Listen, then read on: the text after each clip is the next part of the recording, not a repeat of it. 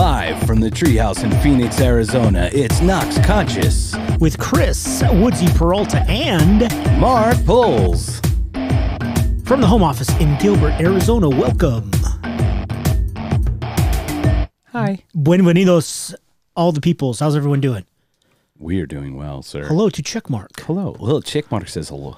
He lost his mug downstairs. He's still being washed. It's not really lost. No, my Mima You're is washing it you're, by you, hand. ha- you have possession of it She's washing it by hand down at the river because they. with They the know- laundry. they know so that your has chonies and your mug are going to be Yes. squeaky clean. and bro. then they're gonna play some washboard like let get a little so it's bluegrass like band air together. guitar, but Yes. different. Bl- Uh, air washboard. Yes. very good. Yes. Sir, Yes, Knocked Conscious. How are you? I'm muy bien. Happy Sunday. Sunday, Sunday. And other words too. Today is uh Sunday, December 13th. Sure. I believe. Whatever you say, bro. 2020. Bainty bainty. We're getting there. Yeah. Fun stuff. What are we doing today? Uh, well, first of all, sir, we do have a. Uh, I have a presentation to make. Like, uh, do you have, did you bring a PowerPoint? I have a deck, bro. oh, nice. Well, you also have like the other kind. Uh, hey now. So we apparently in the studio are in the podcast recording studio. We are slowly collecting paraphernalia of the trinket sort. Time out. like- paraphernalia is a very scary term. Not that kind of paraphernalia. No, like toys and yeah, shit. trink knickknacks. Yeah, I'm not a drug addict for Christ's sake. I don't even I never even seen a fucking drug. So yes, we have uh Special Agent Orange from Trading Places and we have uh we have uh the Slayer mascot and we have some tequila and we have some uh vodka. So uh I have uh, a presentation to make. I have I'm not kidding to all the iTunes listeners. I have a beanie baby to present to Checkmark. Beanie- It is a beanie baby. They are so popular right They now. in were Czech so popular Republic. No, they are. so 25 popular. years ago. No, they and in not Czech, Republic, they're huge. They're hot. They're So, huge. I this is my Trump impression, right? It's huge. It's going to be the biggest ever. Well, when you do that, you have to do the seal arms. Huge. Huge. Huge. It's going to be huge and ever, ever. Yes. So I like to present Checkmark with the latest of our trinkets, the pterodactyl No, beanie baby. that is It the is li- best. Caw-caw! Right. that is going to So have here to you are, hover. sir. Oh, thank you so much. this bad boy is going to have to hover over all. So Right. when you're ha- the next time you're having sex, make sure you text me. Okay. I will run like in. during? yeah, during. During. Well, I mean, Like I'll probably have to be next door because, like, I know I don't go for 30 minutes. I'm just going to assume you don't because we're 20, 30 20, minutes away. 29, 30 minutes. If you can go 30 minutes, then yeah, 28 just text me the second you start the coitus. and and we'll come in and go, rah, rah, no, that's not going to happen, rah. bro. Okay. This is Knocked Conscious, but that was a perfect segue. I love it. I'm anti uh, pterodactyl sex, bro. That's not my thing, dude. Okay. I, I'm good with that. Uh, I think he's going to stay. We can hang it from the ceiling with some, you know, fishing line or something. Check that out, bro. Check me out. Check him out. He's good now. Hell yeah. Well, thank you, sir. You're welcome. You are And welcome. We accept trinkets from anyone as long as Yeah. they don't have like white powder like anthrax on them or something. Well, unless it's a CD from the band Anthrax. Did they do flower? Did they do that in a promotion sometime, like where they open it up and it's got powder? No, they've never, ever, ever, ever, ever done that. That would be pretty cool though. If they No, did. it would not be cool. No, it wouldn't go over well. It's like, No. oh, it's promotion promotion gone poorly. I did like that when there was the big anthrax scare, like in the '90s. They did make a statement that they that they were not going to change their name. Like, That's good. Fuck that. Yeah. Fuck those guys. We're not changing our name. We've been anthrax since 1981. yeah, just because they're an anthrax scare, it is a type of chemical. Big deal. Like it's not. It's like guns. It's like it's not about the gun. It's about the person using it. Like if you use it for nefarious reasons, has nothing to do with the actual. The chemical is not a guilty party. Chemical warfare. Oh, that's Slayer, not anthrax. No, I'm thinking like cyanide that smells like almonds. What are we talking about today, Mark? Today we what are is going to. today's topic? We're finally closing it out. Thank the gods. and I knew, I knew the second I, s- I watched this one that you didn't, you weren't all in. And I'm, it's okay. Dude, I'm always all in with I know you, you're all in. We are always all in. yes. But let's be honest, it went into politics, and you and I, we I am I am more politically minded than yourself, or I care more, whatever the word is. No, you just talk more about it. oh, yes, more But no, let's just let's just be clear. I give a shit a lot less. Was that? Would you say that's like? that. Well, that's the truth. I mean, and I don't. That's not a criticism. That is that is just that's who you are, and, and we we have clearly stated we are not a politics or Yeah, any- we don't wish we don't to. do it. right Right.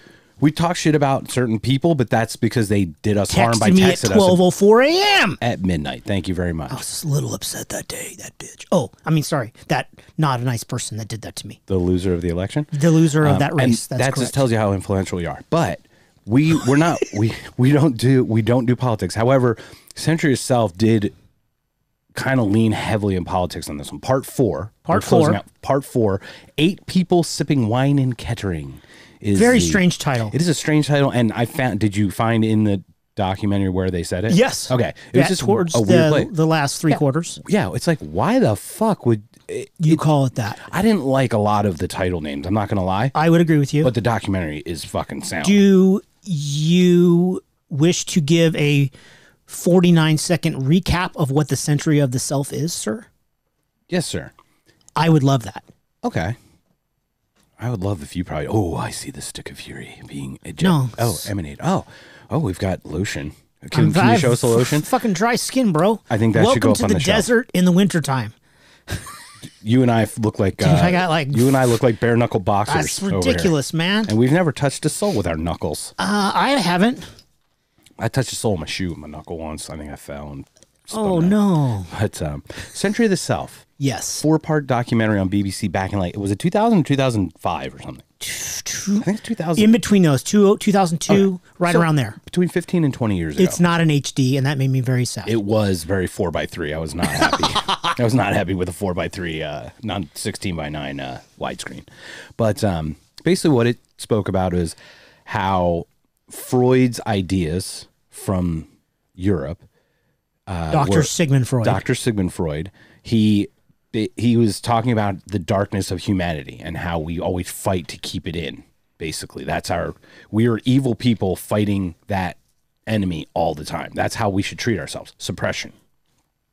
His cousin Edward Bernays or nephew, nephew, Nephew, correct, sir. Edward Bernays comes to the United States, starts public relate the, the the term public relations starts public relations and manipulates all people using Freud's ideas on how to manipulate them and keeping them suppressed.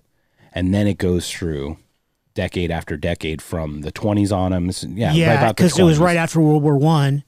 Yes, correct. Yeah, go ahead, please. Uh, And then, continue, uh, expound Uh, on that. episode three was the 60s and 70s, and how there was a backlash against that. And I mean, the way I saw uh, the last part we did, episode three, was it was kind of the hippie movement in a way. Well, it, ran, it led into Reagan there at the end, actually. Yes, in the 80s. it- yeah, the 60s, 70s, uh, and then how Reagan got elected in 1980, inaugurated in 81, and how um, the public relations movement and how focus groups and um, how the ideas of psychoanalysis played into politics, um, not only here but in the UK, and how Margaret Thatcher got elected in the UK. Yeah, very very interesting as a whole. Um, but basically, it just showed like uh, there was the movement from Freud, and then there was a backlash. But then they utilized the Freudian techniques anyway to utilize the backlash when they went into the individual from from the group, right, from the collective, and now they're capitalizing on that, and that's kind of where we are now, right? And that's part four. That's part four. Um, basically, it just goes into how the politics and everything about. I mean, I'd say but politics, the businesses now own the politics, and how clearly that seemed to be by the end of this episode. and this uh, part four takes place in the U.S. and in the U.K. in the '90s, correct? Yes, sir. So it had a lot to do with um, the end of the Reagan era and and how Clinton came into power, as well as the struggle with the the, the, the conservative and the liberal parties in the UK as well. Yes.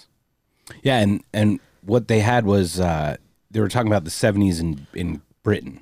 there was a big recession. Business started to look at the desires and emotions of the cus- consumer Yeah. instead of making the mass production stuff. UK was like almost like trailing us a little bit. It's almost they lagged just a hair, but we we had a pretty bad economic crisis in the 70s. Oh, as yeah, well. yeah. You and I were born in the 70s, so we didn't really directly experience it. Yeah, I don't The- remember. I mean, I remember a couple of gas lines when I was really little and how big all the damn cars were, you know? Yeah. My dad had a 69 Impala that was the size of Rhode Island. My dad had a Chevelle Ma- Malibu, Dude, what hand painted. Of course it was. It's fucking beautiful. Love my dad. Um, yeah, and and what it does was so they they they turned to focus groups in Great Britain, and they started turning things around, or the politics started turning things around. They started looking at um, doing focus groups and everything in Britain, and it was uh, it was a new individualism. They didn't want to be seen as social classes, but individuals free to express themselves. Which that's where we are now. I mean, we are the United States. I would is arguably the birth of true individual freedoms.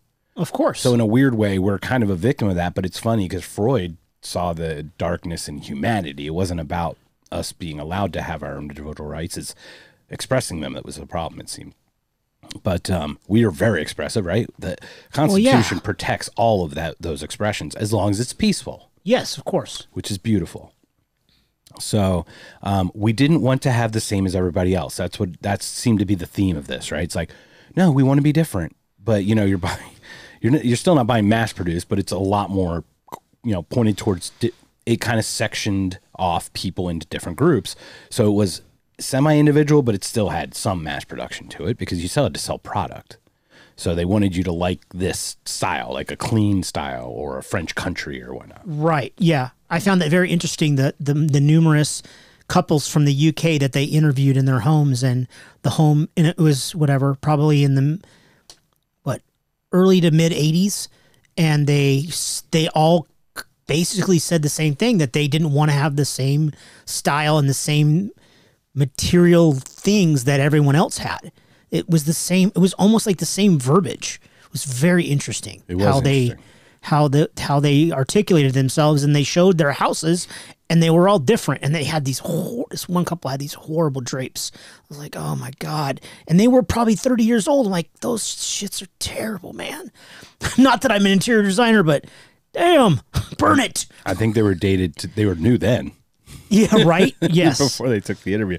Um, well, it just reminds me of like IKEA because we talk about the individual, and then I think like, well, IKEA is mass produced, and we we we're fortunate to be in a city that has an IKEA, and that, Place li- is the hell, the line is around the building three times, and it's just ridiculous. However, what I found is that you can still have individual individuality within mass production, like.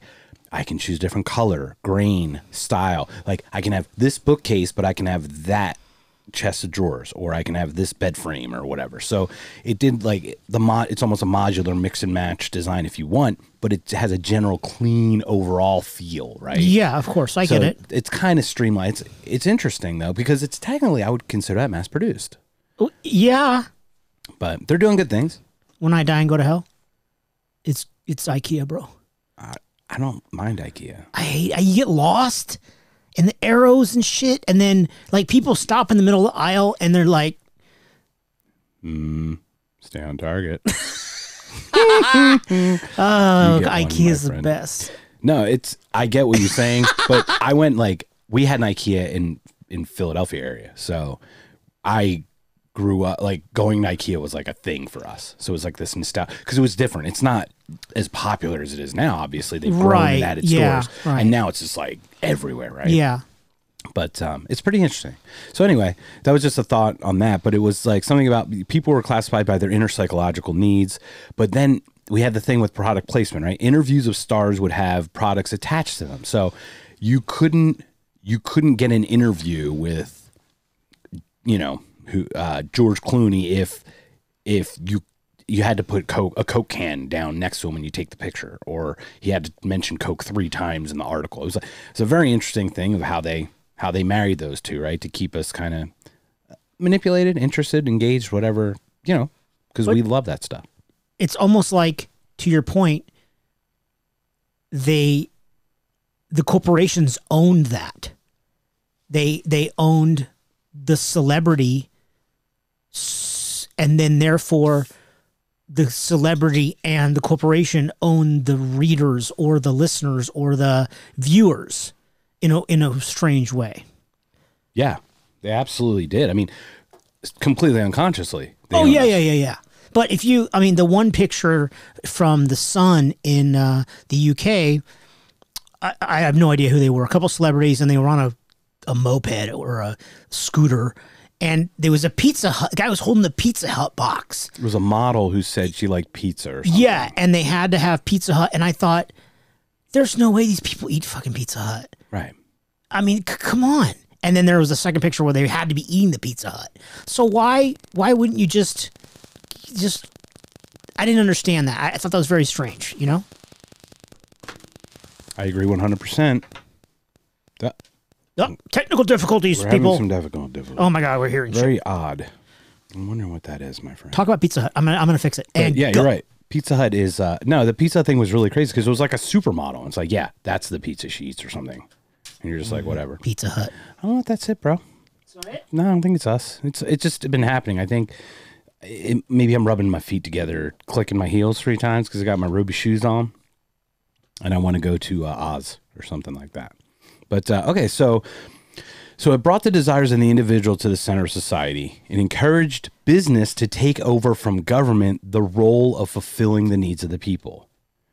And that was very an, an interesting statement that was made. I agree. Did you did you pick up on that specific kind of statement when you watched it? Can you repeat the statement, please? The statement is, con, uh, consumer. I'm sorry. They encourage business to take over from the government the role of fulfilling the needs of the people.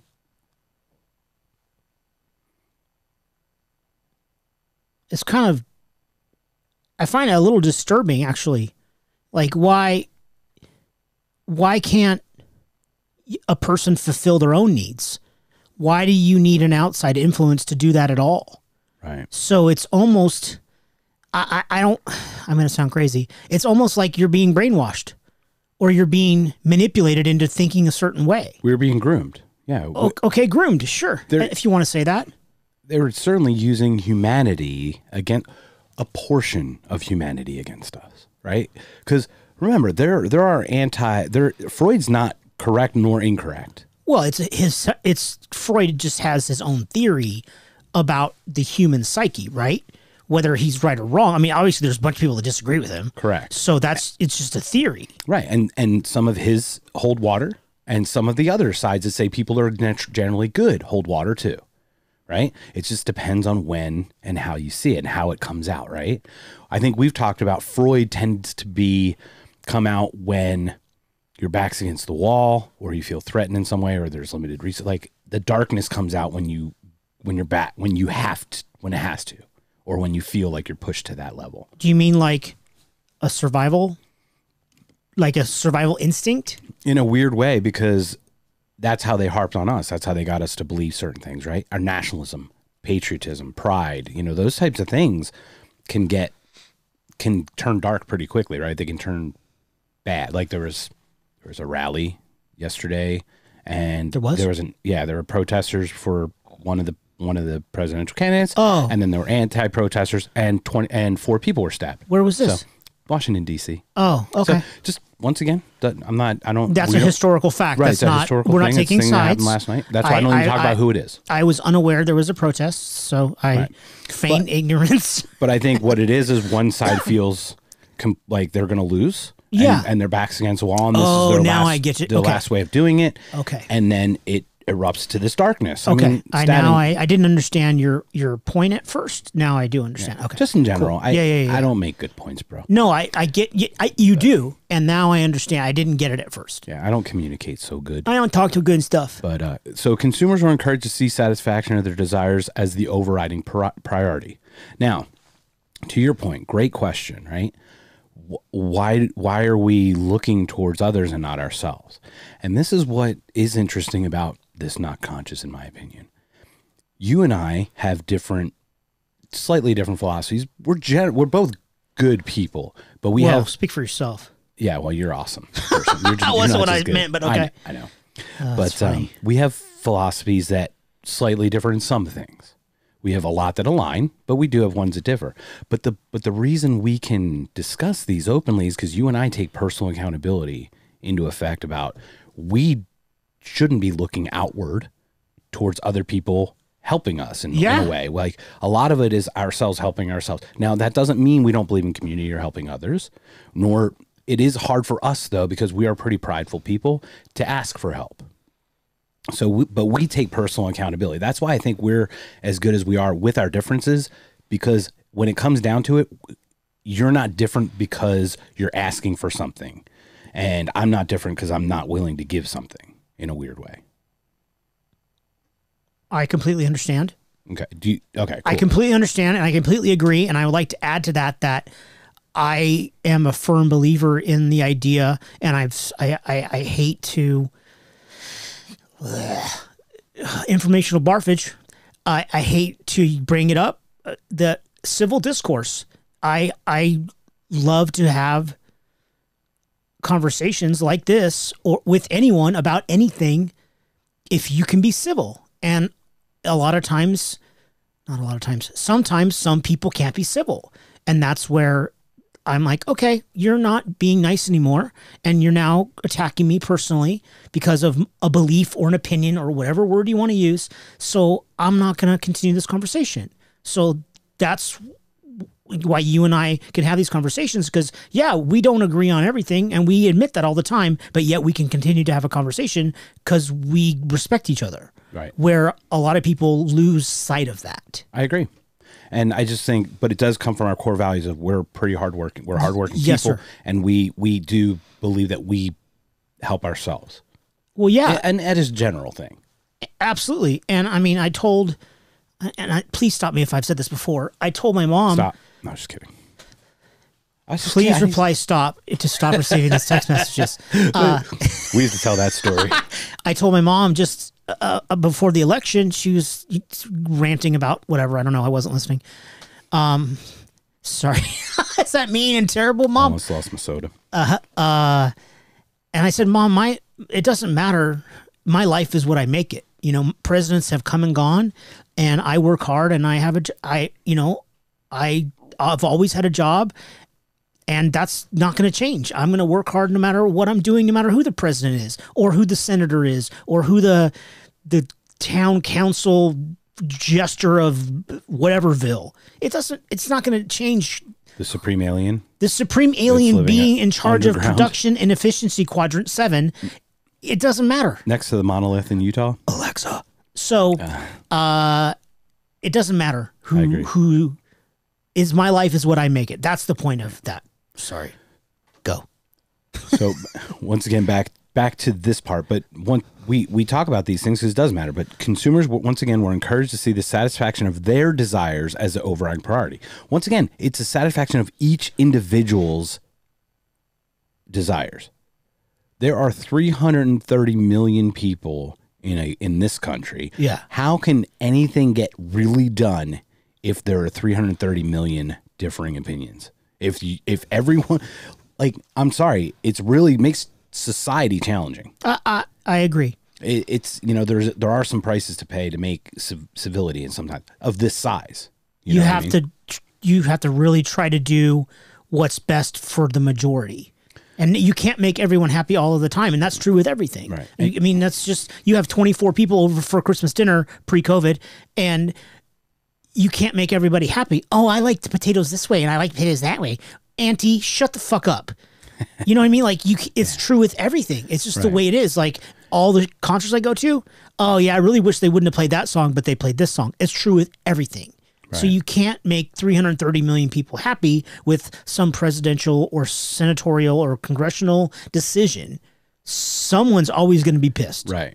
Now that's that's the weird part, right? You do have to dance a fine line of not stepping on people to do this, right? Yeah. And that you know, we talked about inequalities in general. We're not going to get in the weeds about it, but those are still very challenging conversations to Of have course. because it is what's we can't just be 100% utilitarian because we do the what's that train the train or the trolley exercise have you ever heard that No. okay so there's a trolley going down the track and it's headed towards uh, towards a baby in a stroller that's on the track. Okay. They can switch the track, but there are five elderly people in wheelchairs stuck on the track This here. is a terrible story. well, this is the point, though. W- what do you choose? Do you choose Uh, can you stop the train? no? Can, do you choose? Can you to- derail the train? No. You have to. You have to choose the one or the five. Now, do you choose the five that have had full lives already and lived their life, and the baby hasn't had that chance, or do you choose the five people because five people is more than one? I understand.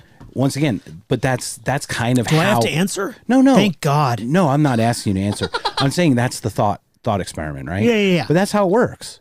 Yeah. And it sucks because yes, people are being unfortunately mistreated or unequal in some places because of the result of the utilitarian view of things of it the other thing might be better for the lar- a right. They're trying. Yeah. amount of Yeah, tr- right. The again- majority is is is is should always be the focus. We try to do the most good for the most people Right. all of the time. and that's what and basically this new thing became this was the new and better form of democracy was each and you know everyone's individual desires taking priority. And we're seeing that play out. And that's what's funny about it. 15 to 20 years later after this documentary Well, the documentary, but this is this was they were talking about things that happened in what 1991. yeah. So yeah well they that's where it began right? you know, so that's that's 30 years ago, right? If not even before then. yeah but that's where it began we're talking about where but what i'm saying is we're seeing what they came up to like the conclusion of is exactly where we are now it looks like I would It's like agree. they saw that I, I I would sadly agree. Um, so some so what what they were afraid of is that it summoned the most selfish and greedy aspects of human nature. Do you remember the thing where they're saying you work so hard for this, why give it up, right? You've you've lived your life, you've contributed to society. That's kind of how the Reagan view was, Yes, right? Keeping yes. money and, and all Right. that stuff. So that's where we are with that. Uh, what are your thoughts up to this point so far on the Uh, I, I'm good. I think you've covered it.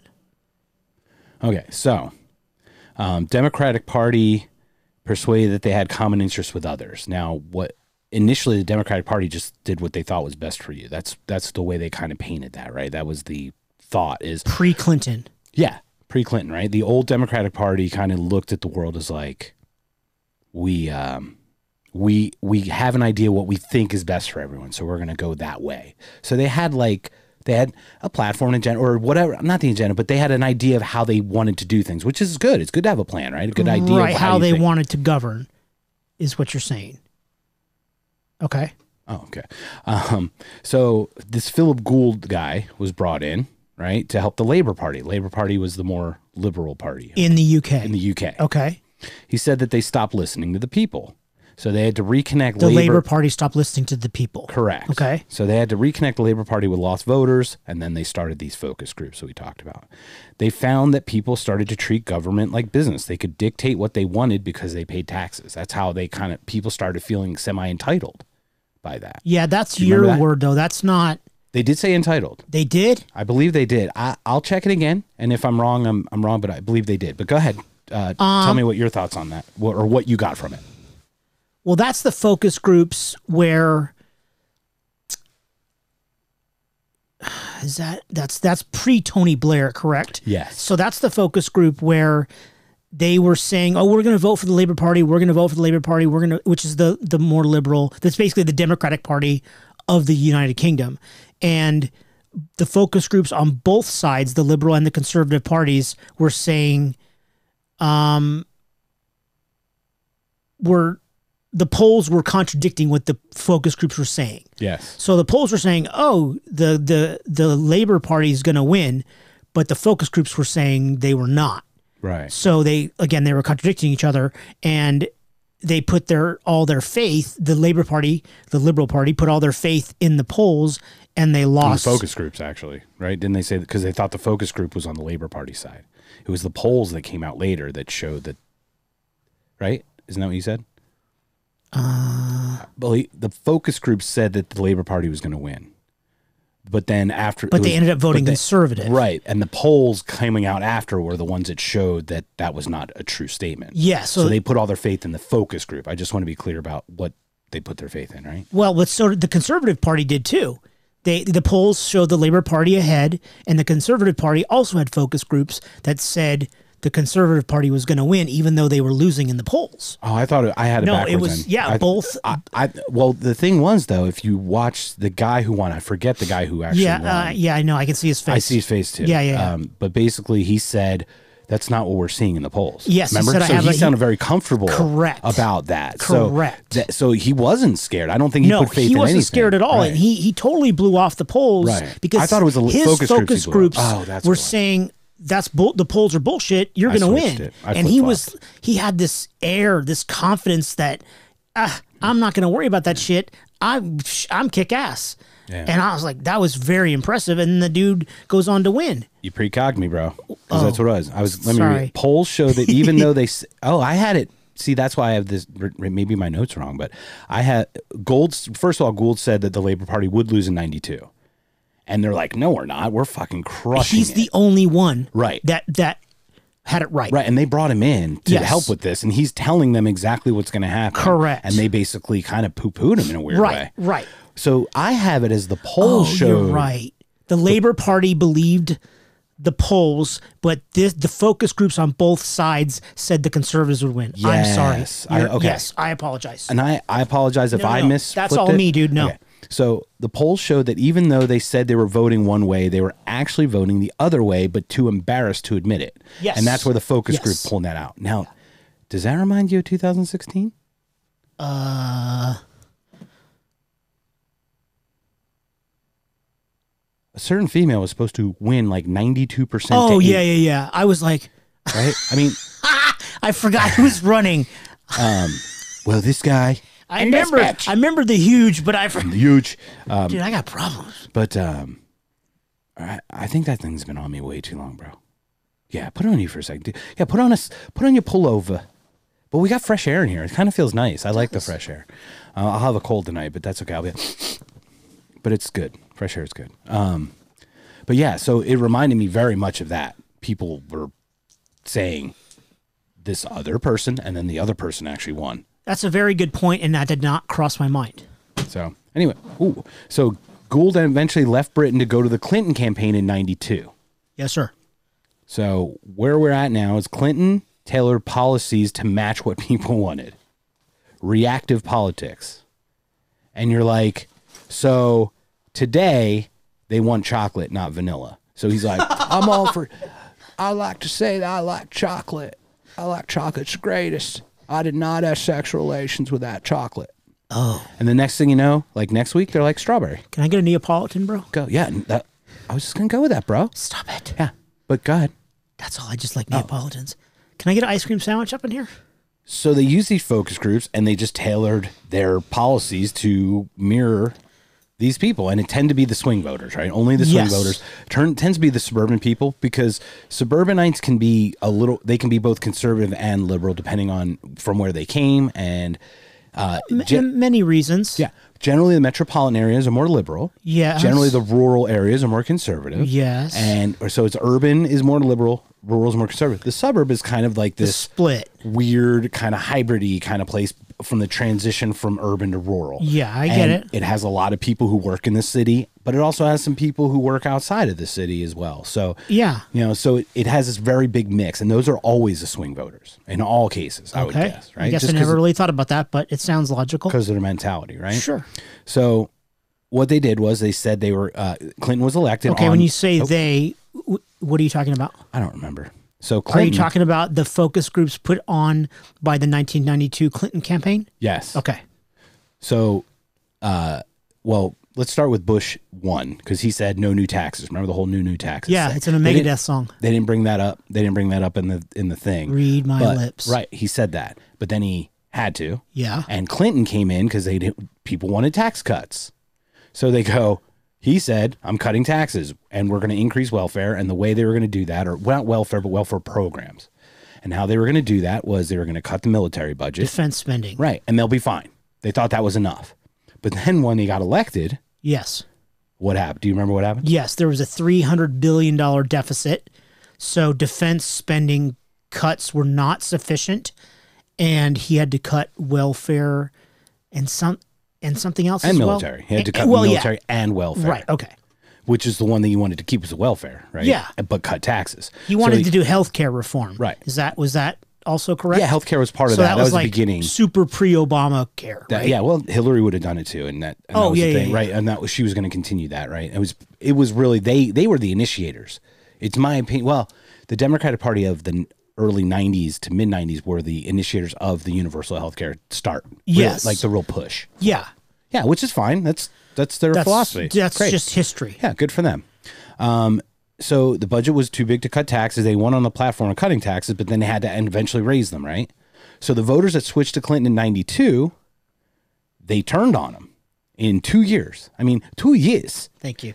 Uh, in, in a mere two years, they turned and Republicans won both the House Yeah, and, and the Senate. Congress Yeah. and Senate, or, you know, Congress and the Senate, the House, both Yeah. houses of Congress in a landslide Yeah. and that's where Gingrich truly came to prominence. Whatever, in '94, and they they did they were they had a lot of power at that point. So Clinton couldn't get anything done Right. because he had no, he had zero. Right.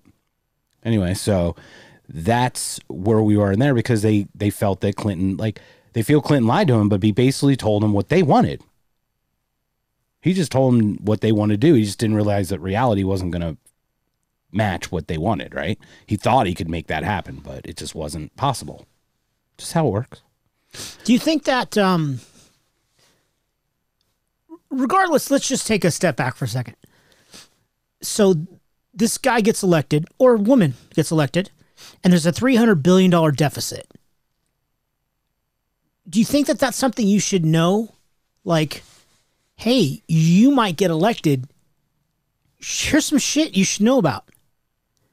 Uh aliens. Uh uh, we don't have any money. Uh, other stuff. Do you, do you, do you, you know what I'm saying? Excellent point. I mean, not. I mean, because I know you and I have talked about the. Let's say, okay, hey, inauguration day, congratulations, uh, Jimmy Smith, President Smith, woo. Uh, then he has a bourbon, and then he had, and then he goes to sleep, and the next day he has a meeting, and you say they give him the book of the aliens. Do you think maybe pre inauguration? a new president should know if you're fucked ahead of time? Hammer. It's my opinion that they didn't they weren't clear about it, but I would guess that that deficit, that budget deficit came out after he had already won, like after he was in office, or they, you know how you have to have run the numbers of the fiscal year. You're behind a year because you have to kind of calculate it all. Right. When the report came out, that's when they were like, "Oh fuck." I don't think they had they were privy to that knowledge. No, they. I don't think that's not the question. Well, you I agree said, with though, you. know they need to owe money. Do you think that? No, because they care about getting elected, right? Like, I'm sorry, I hate to say that, but they needed. They were going to say what they. They took the role of mirroring what people wanted, not what was possible, in, in my opinion, and it was for one reason to get to to get in the White House, right? Power. Yeah, well, to to to be the president, right? It makes sense. So 96 comes around, two years after 94, Republicans turn the House, turn or turn the turn Congress, turn the Senate, and um, they turn to this Dick Morris guy. Dick Morris, this guy's a piece of work, huh? I was thinking Dick Jones from uh, RoboCop. Dick Jones. It was Dick Jones. Never mind. You don't get it. Go ahead. I don't get it. I watch I watch RoboCop. Mo- Freeze, dirtbag. Um, RoboPope. So uh, once again in 96 Clinton's like we're fucked like cuz he saw like that 94 just kicked him squarely in the balls. So he couldn't do anything. when Dick Morris was interviewed and he was asked, Why did Clinton hire you? What was his response?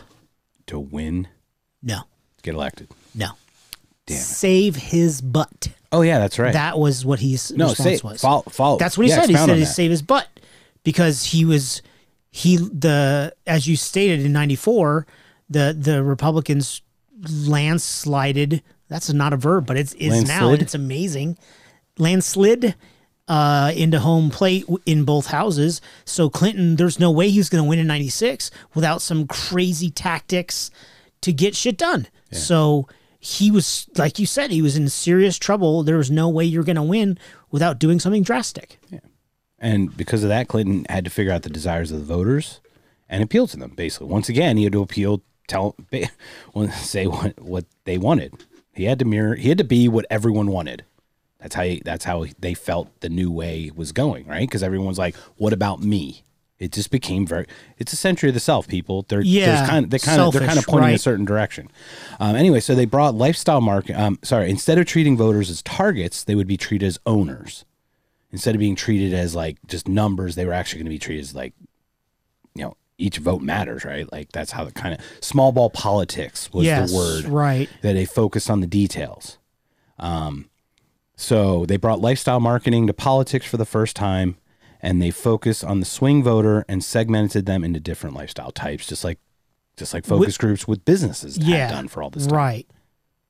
Yes, But they the mentioned that they did that in previous episodes where they would segment people based upon But never their politically. shopping habits, Right. Or their the the way that they would spend their money or do different things. But now it's been shifted into a political platform, Right, it went on from how you do things.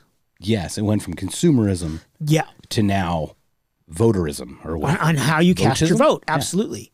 Um, so in ninety in ninety six they did the V chips, school uniforms. They had these real little. They just did these little things, right? And what's funny is how who points to the Republicans? Let's just Okay, hang on. take a step back. Okay, What's a V chip? V chip was like a parental uh, piece that you could put in your on your TV so kids can't watch explicit content, and you have that now on all your streaming devices like adult content no so it has cursing or nudity or whatever and you can Okay, you can kind of choose what but that was a new TV. thing. But that was what that was a big push 1995. because they thought the kids were being because Yes. videos were increasing, right? TV was what people were watching even more and more TV.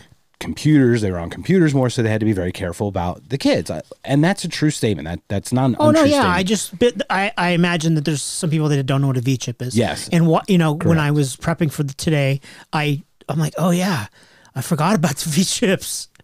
So I was like, oh yeah, I remember that was the thing. Yeah. Mm-hmm. well, the okay. funny thing is, it's such a thing now. We don't, you and I have it on adult content allowed because we don't have children even near the house. But if I have Hulu or HBO or whatever, I would turn off, turn on parental control Yeah. for sure. I would use those. Oh yeah, yeah. I love that the options there, right? So, of course. and that was the thing is like they kind of made these things in there. And, it, and what's really funny about it to me is I remember what you always heard was how the conservatives don't want you listening to filth and dirtiness. Tipper motherfucking Gore did the plan advisory. Clinton's did the V chip. Like, hello, I'm just sorry, but that's just truth, right? Is that not history? Yes. Okay, that's all um, about that part, right? So they played small ball politics. I just once again, you and you and I don't have an affiliation with anyone. We are a shotgun splatter on the on the philosophical in the philosophical spectrum, are we not? Yes. Okay, so this is what I'm going to say. All this to you, and then I'm just going to need your reaction. So they had uh, Robert Reich was one of Clinton's people, and he was the one the, guy, with the beard. Okay. and he and Dick Morris have a conversation. Yeah. Okay. And he goes, "Why are we focusing on these minute things?" Robert Reich's like, "Why are we focusing on the, on these minute things?" And Dick Morris says, "If we don't, we might not get reelected." Robert Reich responds with, "What's the point of getting reelected if we don't have a mandate to do anything once we're reelected?" Dick Morris, "What's the point of having a mandate if you can't get reelected? Isn't the ultimate goal getting reelected?" And go. Obviously, they're both right. I, I'm not. I have no political aspirations at all. I have no desire to have control or power over anyone. So I understand. I don't agree with it, but I understand what they're both saying. I get it. You can't. You, if you if you if I step back and I look at it from a purely wholesome and good perspective, let's say someone has no selfish motives and they truly want to do good for their fellow Americans, their fellow human beings, you can't do good from that perspective unless you get elected. So I, but obviously to get to that level, you probably didn't. You probably did some shit that was shady. Let's just be honest. So I, I don't. It's it's horrible that that's the mentality because that's just you know that's the way it's always been, and I'm sure it's never going to change. Is that I'm trying to let you complete your thought because I don't want to. Sta- I'm trying really. are you, You sitting on me. your hands, bro? Um, they're just in my pockets. Okay, paquetas. Paquetas. Uh, yes, but I took it from a different angle. I just looked at it like I don't think people just said what they wanted to hear to get elected back in the day. I, I truly believe they came in with this is my plan. If you agree with the direction I think we should go, then you vote for me. Do you remember remember when we were a needs based and not a wants based? We we didn't live in that. However, I need a new car, right? back then it was like this is pragmatically a good direction for the country to take. We want to help with a welfare system, or we want to help with business, or we want to help with XYZ infrastructure, this, right. that, and the other, Right. education. Yeah, yeah, yeah. If you agree with us, then you vote for us. That's how it I I recall it being. Well, actually, I probably don't because No, we, we 'cause came in was- with Reagan. Yeah, So we probably didn't. No, it was way, way, way. That Right. was that was like pre World War II. Yeah, for sure. Even World, I would think even World War II because that was a mass produced. That's when this really started. Yeah, so this was in the fifties is when it changed. But the 20, yeah, the 20, because it had nothing, it really was, I, I am this, this is my quote unquote platform, right? Wasn't they always talk about platform? Right. I want education for everyone. I want safe streets and I want, you know, food on, on everyone's table or Well, whatever. Right. Right. If you agree with my things, you vote for me. You don't go, oh, this week I like chocolate ice cream. Tomorrow, next week I like strawberry. Oh, okay. I'll just change to fit what you want just to get reelected Yeah. you don't you no longer even have a a, a foundation on which you can build you the direction you want your civilization to go in my opinion Yes. Yeah. And that obviously leads to your point, right. which is next about the UK. yeah. Is that so well Morris's strategy started working right? And then this guy Mark Penn came up which was really interesting. He had a call center in Denver. Right? Yeah, yeah, they, yeah. they were calling swing voters all night. How many look where we're at now. Like let me finish this statement and then i'll get your reaction. Where are we at now with that right? Mark penn called called in denver called swing voters asked them what they wanted. That's all he did hey we're interested in what you as an individual wants where are we now with these fucking things with the with being called or messaged or communicate how are we being communicated with now on a constant basis during this for example this election this election Cycle. cycle yeah yeah. Now it's all texting. how many did you get Oh. At least one a day.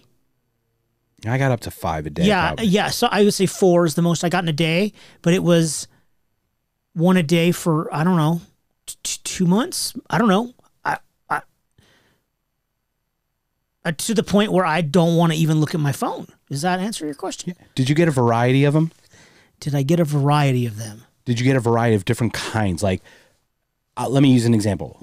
For me, one was Mark Kelly's trying to take your guns. Oh, yeah, so, yeah, yeah, So yeah. it had an agenda on it, but then I've gotten other ones that said, "What's your likelihood of voting for Mark Kelly on a scale of one to five, or voting for Trump or Biden on a scale of one to five? Had you, had, did you get any of those? Yeah, of course. So one was just more like a barrage advertisement thing. it Well, felt like. like. the first one you mentioned was a scare tactic, yeah, and and, and the the second one was the right? second one was more of a, like a focus group. Yes, correct. It was a polling. You were being polled. It was like a poll, right? Yes. But it was prior. So I guess you can call polling whatever, but well, the focus it was kind of a weird focusy group polly kind of thing. Just asking one to five.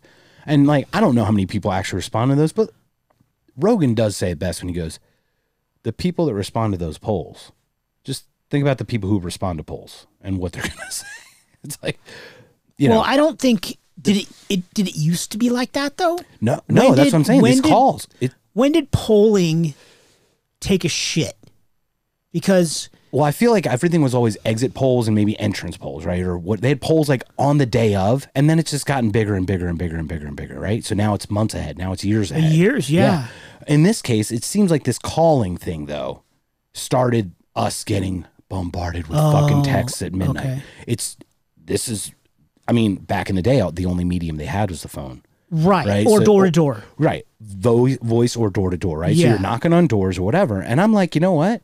Knock on my door, look at me eye to eye, and tell me what you ask me. I will be much more happy to speak with you face to face, right? Really? Because you and I feel that. I think you and I feel that way because we feel that's. Ah. Well, you're bothered by a fucking text, and it's easy to tell them to fuck off on a text than it is face to face. I don't want. Don't no both go away. I don't can- want you to knock on my door either. Yeah, but you can. But you know what? You can appreciate the hustle, though, right? No, No. like just don't leave. Just leave me alone.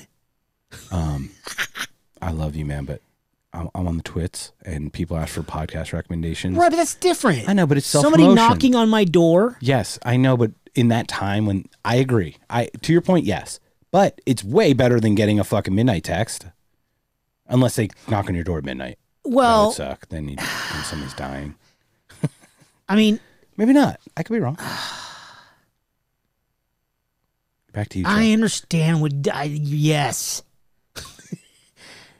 all I'm saying is like at least you can you can understand the the the work they're putting in, the effort. The, yes, I understand the hustle. a bl- I get right. that point. A broad I just don't just want to be bothered at all. No, I- like leave me the fuck alone. That's are- my point. Right. And we're allowed to do that. And what's awesome is that probably when it was door to door.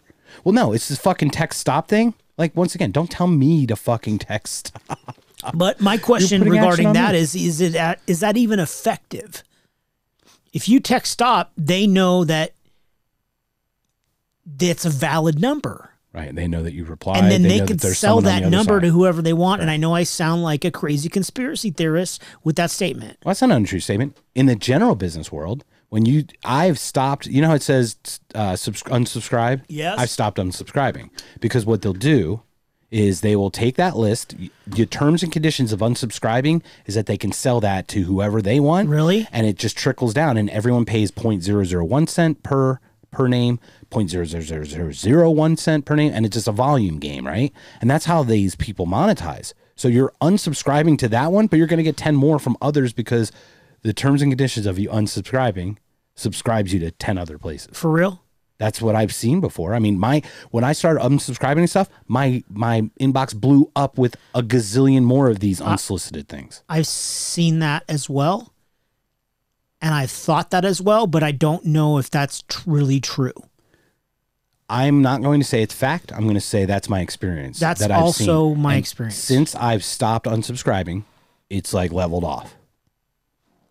That's just what I've seen. Anyway, so um, they came with so when we when we back to the UK, the UK looked at the US and went, "Holy shit, that's how to do it!" Right? Labor Party looked at Clinton and, And said, this was the this Oh. was after the 96 after the election. right? So ninety six, Clinton does win.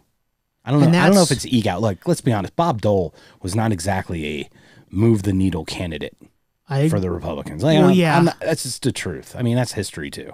I He's a good yeah. guy, but or whatever. But he wasn't engaging in any way. Elizabeth, his wife, was way more engaging. As uh, she, you know, she, she's the Dole light. You know, the third light on uh, on the back of cars. She was the Secretary of Transportation when that uh, went into effect. She's the one who initiated that. Oh no, I didn't know that. Yeah, the safety light. That Yeah, yeah, one yeah. called a Dole light. I didn't know that. Yeah, it's from Elizabeth Dole, America. Okay. Okay, go ahead. No, I was just saying that's an, another tidbit, factoid. Okay. Um, Go So- us. stop. No, stop us. yes, correct. Um, Go so they- stoplights. so they came to this welfare to work program. They had the hand up, not the hand out. And this that was, in this- the U.S. It was in the U.S. The hand up, not the hand out, and that was a like one of these things. And then what they found, the Labor Party copied almost verbatim from the Clinton campaign. Yes. They were. Tell me how they felt. How they how did they feel about being copied? Do you remember that? yeah, I mean they they they were. It was a double edged sword, right? They were they were they felt. I, I don't know. It was not honored, but like complimented. Like wow, they they thought enough of of our ideas to to use them. Then he goes, "Son of a bitch, they took our ideas." So it was a it was this weird in the same sentence. The, the guy that was being interviewed was like, "Wow, that's really cool." Oh fuck! so that was very interesting. That his response. That's exactly how I felt about it, and I always took that akin to like music lyrics or like a com- comedian joke. Is like, Oh yeah. you're oh wow, you honored it, but you also stole it. Yeah, like it's like a double-edged sword. Like, yeah. When you're a content creator, like a comedian, though, that's your that's your intellectual property. Yeah, that's I agree. stolen for sure. But it, it is flattering when someone kind of make takes your ideas in a kin, like almost like that. So to your point, it was double-edged, flattered and yeah, a little flattery. There you go. They yeah, were flattered. They were they felt uh, you know they were honored uh, in a weird way. They're like, oh, that's cool that they they kind of took our ideas. But then they're like, they took our ideas. hey, So suburban voters were vital, right, with Tony Blair, um, and they they. I'm sorry. Then we'll say the left, but we'll say let's say liberal, whatever. The Labor Party they then pandered to business in a way. Um, the Labor Party that fought against big business now was becoming a slave to it. Is how they were doing because they're using the techniques of big business instead of dollars votes. yes, right, okay. Uh, yeah, Any- no, I, yeah, that? I didn't know where you were going with that point, but yeah, okay, now I know what you're talking about. Yeah. And it's the same thing. It's like, okay, it's kind of like a stock price.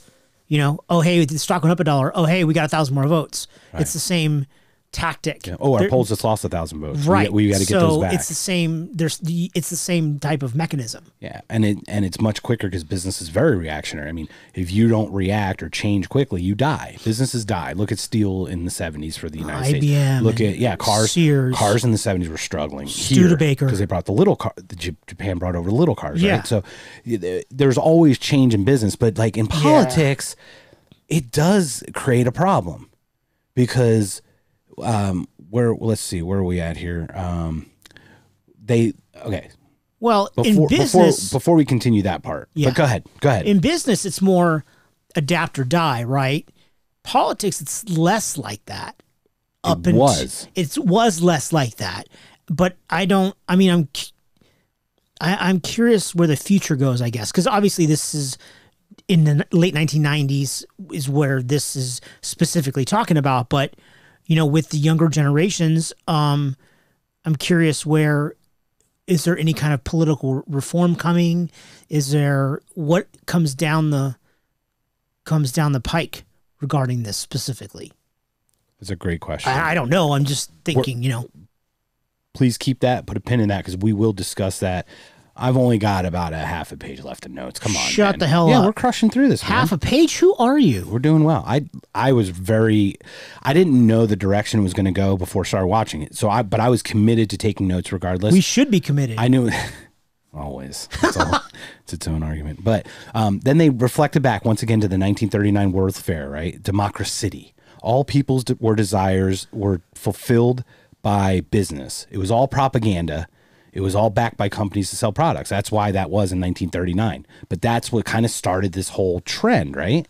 Bernays did not believe. I'm gonna. I'll read this part because I took this almost verbatim, and then I'd love to see your reaction, not just or whatever. I want to like hear and see a reaction. Okay. Edward Bernays, the nephew of of Doctor Freud. Did you see him on Letterman? Did you see that little Yes. bit? That, that was hilarious. He's like, I know that if you call me doctor, it gives me more credibility or something. I thought, and I'm like, you motherfucker. He just he nailed it. He nailed it Yeah. right there. He just He's incredibly intelligent. yeah, he fuck, and but he thought so little of human humanity from his uncle. So Bernays did not believe that true democracy could work. Influenced strongly by Freud, that influence were uh, I'm sorry, individuals were not driven by rational thought, by by primitive unconscious desires and feelings. Bernays thought it was too dangerous to let the masses ever have control over their own minds. And go. What? What's your question? what do you feel about the now remember he's influenced all of the direction we've gone with this and that's his base core foundation belief that it was too dangerous to let the masses guess who the masses are us, Us. okay ever have control over their own minds not others but their own so he did it for them Well, first of all, fuck that guy. Um. the theory kind of sounds sound though doesn't it? Well, I don't appreciate being manipulated. And I, I can see his point because, you know, if you, this is a horrible statement, if you look at the spectrum of humans, half are above average intelligence and half are below average intelligence. So for the people that are below average intelligence, do you need to steer them in the right direction so that society maintains some sense of order? I don't know. Um, thank God I'm not responsible for that shit. I don't want that job. Do you see? Do you see, understand my point? I do. I mean, the Carlin bit of take the average intelligence of the people you know and think half of them are dumber than that. Like Ta-da. ta-da. Um, to your point though, even the average intelligence. Like remember, it's not even intelligence per se. You and I perceive the world differently, but it's not even intelligence. It's a perception. It's a intuitive almost with us, right? In a weird way. They are influencing the desires and the emotions. They're not even doing it. They're doing it without the knowledge. They understand it's unconscious, Yeah. right? So until you really pull back that veil, you're being manipulated because you don't know, even understand you are, because they're playing with your feelings. They're not playing with your mind, right? You're not even thinking about these things. You just feel them, Well, you know? y- yeah, but it, I think it's also the the manipulation of of humans to get them to do and to buy what he wanted. So you know, when the governments that he worked for and the companies that he worked for wanted certain things, he would be the puppet master Yeah. and he would, oh hey, I'm going to get them to buy a Buick Yeah. by doing this, this, and this, and this. But but what's funny is Bernays didn't necessarily do it as much to sell as he meant to control. So Yes. the ne- the next statement here, consumerism was a way of giving people the illusion of control while allowing a responsible elite to continue managing society. And is that statement still true today? We can we put a pin in that one as well? How many? I don't have enough pins, bro. There's like three lines left. Okay, fuck off. Go. So okay. So the people's desire okay, the people's desires in charge, democracy reduced from something that requires an active citizenry. That's kind of how you and I perceive democracy. An active citizenry, like courtesy, you know, work hard, contribute as much as we can, do what we can to help, right? Ask not what your country can do for you kind of thing, right? Yeah. That's kind of what we are, right? We're we're an ask what we can do for our country in a in a weird way. We love the military, we respect police, we respect, you know, firefighter, first responders. Of course. during this time of the COVID, hardest workers there are, man. thank you to all of the health workers. Like for real. Like we don't Oh, have yeah. that skill. We have I have no idea. I I can't even put a band-aid on a cut. So um but anyway, it you know, it, they changed democracy or they reduced it from something that required active citizenry to something which is predicated on pub on public as passive consumers. What you're delivering them are doggy treats. You remember That's- that statement about the no. doggy treats at the end? No. Oh, so it was right. It was towards the end. He said the people's desire. He said democracy is reduced to like dog. You're just basically like coddling them, just minute by minute, not as a big full as a big idea to go somewhere. You're basically just coddling them with just kind of throwing them treats. And are is that a doggy treat? Like, oh, I bought a new Honda today, so that's a doggy treat. I think the doggy oh, treat. I got. Is it a material possession? it could be material. It could be even political. Like I agree with you. Oh, Like, not saying that. like, um, or is it a vote? I agree with you, like on a certain agenda or a certain phrase or something we can say. You know, like Okay. uh, a movement or something like, "Oh, you like strawberry? I'm fuck strawberry. Fuck yeah, sour apple. Fuck yeah, sour apple's the best." Right? That's basically what they're saying. Is they're basically we're we're we're. I'm saying that I agree with your individual desire, but I'm saying that to every individual, and that's kind of dangerous in my opinion. To be a to be a government, it's it's dangerous, and since politics is in government, that makes it all dangerous Yeah. right? So the new labor believed the propaganda, they believed in big business now. Continuous democracy followed the will of the people was con so I'm going to read this one. Um, I'll read this little blurb once again, and I'd love to hear your reaction on this. It was called continuous democracy. Followed the will of the people was contradictory. So there was an example about the rail system. Yeah, that- People yeah. said, Peanut, you're spending too much money on the rails. Why are you why are you paying money on the ground, bro? I want to fly. No, but they're saying they they shat on on the public transportation or the rail system. Yeah. So they're like, yeah, we we do. We they defund or reduced funding. It atrophied, and then they're like, why the fuck aren't you investing in this shit earlier? Like, so the people change their mind because of how they felt about it. So you're basically chasing feelings instead of a logical path to something. Yes. It's not one to two to three. It's how our conversations are. Yes. Oh fuck.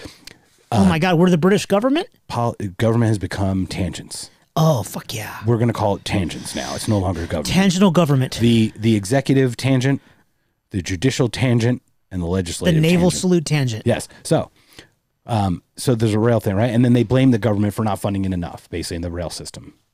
Focus group politics are contradictory, irrational, and make it hard to decide what you're going to do if all you do is listen to massive individual opinions that are forever fluctuating, have no coherence, and crucially not set in context. So he the example was I want lower taxes and better public services. Right. Well, yeah, No shit. who doesn't want Everyone wants that right, dipshit. Who doesn't want to spend less and get more? No shit. Like Everybody. right.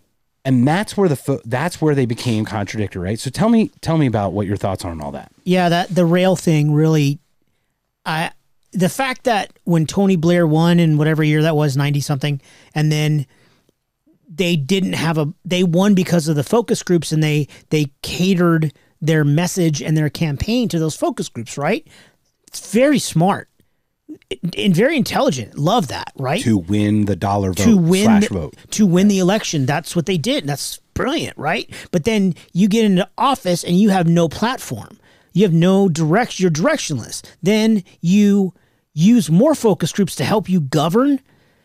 Well, I, I don't mind using focus groups in government to get the feel of the people. I kind of equate it to the fireside chats with Roosevelt, and that's cool to connect to the people to show that the government is there for you because technically the government is servants. Everyone forgets that shit. So, but specifically the rails, you can't listen to a telecom engineer and go, "Yeah, I don't think you should put any money in the rail system. That's dumb." But and then then then the rail system falls apart. You have to listen to And the then you get pissed about it. yeah. You then I go. That's why didn't you put money in rails? Ah, uh, get this guy out of office. Why'd you reduce funding? I can't bro? believe you did that shit. So you defund that's, the rail system. yeah. that's just you have to listen to the. I'm just saying that sounds very similar to something, right? you have to listen to the civil engineers and the railway engineers and go, Infrastructure experts. Yes, the people that work on that shit every single day. They go, hey, look, in X number of months and years, we're going to have a serious problem. Here's the priority list of things you have to fix. Here's the if you want to expand the system here X, Y, and Z. You have to listen to the experts. Chris Peralta, the telecom engineer, is not a rail expert. Don't listen to his dumbass when it comes to rail shit Right. hello you would think the fucking prime minister of the united kingdom would know that hammer I wouldn't hire a physicist A for a, physicist. for a chemistry problem. You know what I mean? I'd probably hire a chemist. you fucking think so You know, um, but that was the thing is, yeah, they called you because you're a suburbanite in from the home offices and where? Where was that? gilbert az Gilbert. bitches So they're calling you like, bring, bring. Hello, is Christopher there? no i don't answer my phone man I mean, hello, Christopher. jess Yes. Um, jolly good what do you feel about the rail system? i think we should not invest any more money Okay, done. Bye. And then, and, then, then- and then I go, hell no, we want more rails, bitches. right, and you're one with them, one of them picket signs. I'm a picket that's what you fence guy. Hell no, we need more trains, bitches. We need more picket fences. Is what we need. yes. Um, I'm I'm all for picket fences over Yes. pickets. I don't know. I think actually I like pickets. I once again, constitutionalists, you and I, right to uh, freedom of expression and Yes. assembly, peaceably assemble, and I love that. Um, so the Freudian view, once again, was fostered and encouraged by business because it produces ideal customers. The thing that got it was it sold products, right? So the products are now votes, and they use this tactic now to get your vote. That's basically what their conclusion was, Which right? do you consider that what they did? Do you consider that manipulation? Well, it's absolutely manipulation. It's my opinion. I'm I'm a small government person. That's my philosophy in general. Um, I I have read the Constitution. I hope we are we going to do one on it. I know we keep talking about doing stuff, but I love to go. And you don't write it down, so which Right. that means we're never gonna fucking do it. I know, So no, we're not gonna do one. but we've done freedom of speech. We've done freedom of religion, and we're very clear about our the stances. we about- did the Ten Commandments, bro. Yeah, we did that too. But we're very but we're very clear about our stance about regardless of what you and I individually believe in our faith or whatever, that your personal is protected for it, right? We're constitutionalists. You and I both are very strong into like personal individual because we also do take the accountability. Well, I I disagree with that, but that's not what this ahead. conversation no, is about. No, tell me tell me what you think. No, I, I disagree with some of the Constitution. Oh, okay. Like what is there a part? Just Well, yeah, we don't wanna have this conversation no, just, now. Just pull one of them out. I just want to hear one, and then we'll move forward. I'm not going to undress it. I just want. I'm curious about The one Second Amendment. Oh, okay, got it. That one's a good one. Um. So Back to you, check mark. yeah. So the Freudian view was encouraged by business because it made them ideal co- consumers, right? But then we've now become the slaves of our own desires because we're. eh, It's just it's it's a moving. We keep moving the goalposts. We don't have it's my opinion that politics should be these are my general platforms. Be nice to people. I like to be a little more fiscally conservative, but you're welcome to do what you want as long as what you do doesn't harm anyone else. And all these things, like very general things. Now, maybe it does get more drilled down the more people you have to deal with. It's hard to scale, right? Like it's easier to govern Sweden or something with 10 million or 8 million people, whatever the number Yeah, I is got your. I see your point. than it or 30 even 30 million in Canada is one tenth the number of people in the United States. Right? Right. Like, Yeah. It's hard to and and it's hard to be free like we are because look at the country that's bigger, like China. It I would I would venture a guess you almost need to be like More hold that structured? shit in. Right. You need to reel that shit in because a billion people, just a small percentage of that can be way is three is three times more dangerous than ours. Yeah, than a small or percentage of could be. Could be right, and and especially if it's in a focused area. you Yeah. know, it could really do damage. So it's really hard. But we've now become the slave of our own desires. We've forgotten that we are more than that, though. Like that was that's kind of the one thing about it is this was all our entire our childhood growth, whatever, and f- up to fifty years prior to us was all clayed and molded by this Bernays guy on Freud's assumption that all we are evil and we have to suppress it and our desires and they manipulate us that way. We are more we we we are more to that, aren't we? More like I an would. onion. Yeah, I absolutely would think so. But yeah, I, I agree that in every human there is the capability to be bad. You know, not just evil but bad, right? So as well as, um, amazing. You know, and and generous and kind and loving and and good. But I don't. I obviously, my opinion, Freud, th- this specific theory of Freud is absolutely flawed. Yeah. And but that's what's created us. So now we are his theory because it's been practiced and now now it's part of our lexicon. Well, wait, but not Freud's theory, Bernays's practice of public relations, which in my opinion is not public relations. It's it's the use of marketing and advertising as manipulation of the masses for commercialism and for political gain. Right, but that That's was- my interpretation. Right. But it was based on Freud's belief that everyone's evil and they have to suppress it and they have to be controlled. So Bernays took the idea that they need to be controlled and then massaged it the way he massaged it to keep us in control through buying products and through this the way he did it.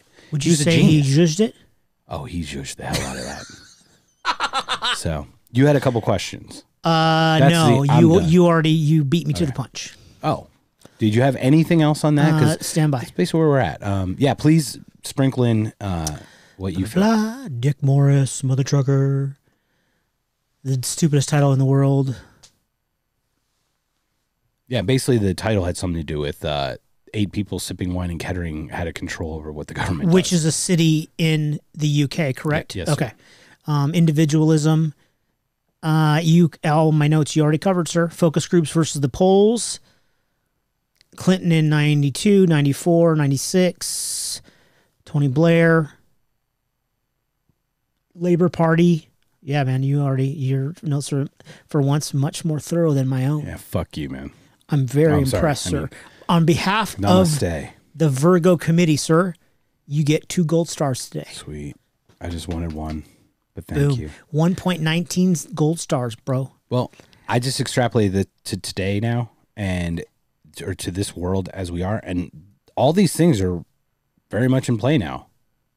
They reared their ugly heads and we see this in everywhere. And I think I feel like it goes faster even with social dilemma, right? Because the idea is to get keep you engaged, right? And they can manipulate you more the more they keep you engaged. And Well, yeah, we now it. live in a much more digital world than when this was made in 2002, Yeah. right? So that 18 years later, i i everything moves exponentially quicker, right? Yep. From every perspective. Now you can click on your TV with the remote and you can watch any movie ever made within 30 seconds. Yep. I mean, you might have to pay 3.99, but You can still do you it. can still do it. And that that one fact alone is mind blowing. It's amazing. You know? And, and think about the greatness that that can do. But in this case, it can also exponentially spread the subconscious manipulation of us. Yeah, and that's, that the you know, yeah, the political side it is what it is. To me the the consumerism is that that does bother me because it material things don't make you happy. You know, Certainly the not. fact that there's a there's an emotional attachment to buying something, like oh my god, I got to get a new T-shirt. Oh my god, I got to get new shoes. Oh my god, I got to get a new purse. Not me, but just one time. Why not? You know, oh my god, I got to get a new blah blah blah. And and I, you know, I was looking at a new car a year ago, and then I thought, man, you don't need a new car. What is wrong with you? you know. So, but I just, but I'm I'm guilty just like everybody else, right? But it's an emotional decision. That's, and we're all part of that system that's been built for, you know, sixty years, more seventy years. I'm good at math. It's certainly hard to unplug uh, from the system that's all around us, right? It's is it like the I mean, in a weird way, they- they created the matrix of consumerism. It's it's its own matrix. And until you break free of that cycle, you're a slave to it, just like anyone else. And as am I. I'm guilty of it too. I do my best to limit. I I had I had more emotional issues before, and purchasing buying things made me happy. But I've addressed a lot of those. I've like I said, I'm the most emotionally happy I've been ever, and I'm not that consumer like I was that tick that you talk about from buying stuff, right? But we're getting that with social dilemma. It's oh, where's my next like or my? It's kind of the same. Yeah, it's weirdly that it's oddly weird- the same thing. That weird, that weird hit in your head dopamine. that weird like oh it's like chocolate when you get a when you get a little heart or a like or a thumbs up on the social media yeah it's And it's the same terrible. thing that purchasing is. It's almost like get. It's like getting a gift. A like is like getting a new gift. Like a like a. I bought a new toy. I bought a new car. I bought a new this, that, and the other. It's it's just on a because uh, smaller because scale. because purchasing something does this does the same thing as dope does It's when you buy something hit, yeah. you does it release dopamine Yeah, it's the same. It's Okay, the same I don't hit know 'cause that. It's, I- I'm well, it's like an instant satisfaction kind of Okay, thing. You've okay. you've you've quelled your desire in that moment, right? yeah for So how long But that's not what it is. It's about quelling that desire, and that's the hit, right? right We now just do it on a multitude level. Look, I'm staring at our downloads, bro. Why? I'm not gonna lie, because I love when we we we have a little meeting. We're like, hey, how many we get? Oh, cool. We're here, here. We're much. We're stoic about it. We're not like, oh my god, we're fucking rocking, or oh my god, it's the end of the world. Like if we don't get downloads. Yeah, we- However, yeah. we're very vigilant because we do know that that's important, right? In this, it's the one of the most important metrics of a podcast is that someone's listening yeah right? So I'm not gonna lie, I'm I'm looking for that hit. It doesn't give me the hit as much because I'm very conscious of it per se, but I do understand what one extra listen does. You know, it, it's a good thing. It's Well, a positive thing. So it does feel good when we see it. And look, we're I'm we're grateful to everyone who's given us a listen. So thank you to that. But at the same point, it's like, yeah, we're also just as much slaves to that dopamine hit slaves to the grind rah, rah, rah. So that's about it. So four parts, one, two, three, and four, I think, or did it go A, J, four, and eight, or H? Which, uh one two z9. Okay, thank you. yes I'm glad Watch them in that order: one, two, Z, nine. but uh, it is very interesting. I mean, I would definitely recommend that. It, and it's only It's like three and a half hours for all four parts. So Yeah. it's very fascinating how easy manip- easily manipulated we are, it, and it's scary in that respect. Yeah, and to close it out, um, once again on the twits, people are asking for recommendations.